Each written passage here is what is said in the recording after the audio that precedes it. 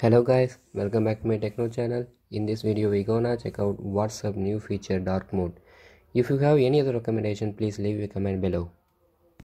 The latest beta update of WhatsApp for Android has finally added a native dark mode to the app. The feature has been under development for over a year now and WhatsApp has taken its own sweet time in rolling out to beta tester. If you are on the WhatsApp for Android beta channel, make sure to update the app to get the dark mode feature. The dark mode toggle will only show up in WhatsApp version 2.20.13 beta or higher. Okay, now see how to enable the dark mode.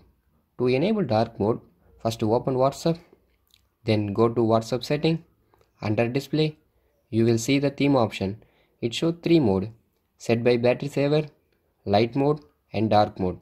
You select the dark mode. You also have the option enable dark mode automatically depending on the system theme or when the battery saver mode is enabled.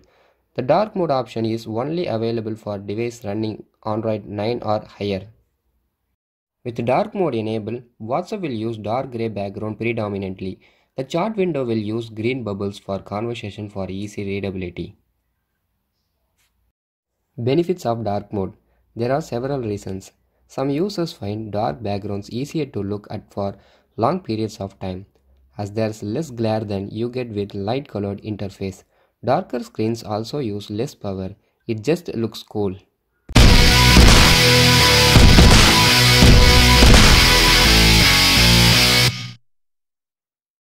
Okay guys, thanks for watching. Subscribe my techno channel, press the bell icon. Bye bye.